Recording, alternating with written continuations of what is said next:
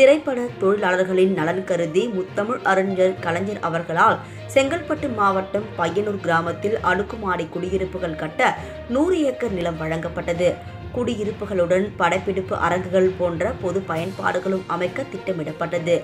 பையனூர் கலைஞர் நகரம் பணிகளை மீண்டும் தொடரும் வகையில் மூன்று ஆண்டுகளுக்குள் குடியிருப்புகள் கட்ட வேண்டும் என்ற நிபந்தனையில் தளர்வு மற்றும் திரைப்பட அரங்கு அமைக்கலாம் என்ற அனுமதியையும் திரைத்துறையினர் கோரிக்கை விடுத்து வருகின்றனர்.